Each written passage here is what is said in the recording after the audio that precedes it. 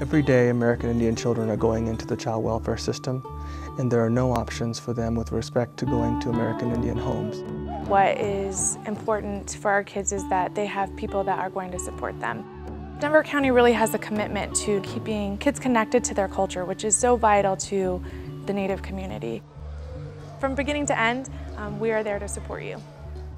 The truth is, if we have room in our hearts, we have room in our homes for these children who need us so badly. You can be that support. You can be the person that helps get them through this really difficult time in their life. The love that we show them is going to impact them and it's going to stay with them for all their lives.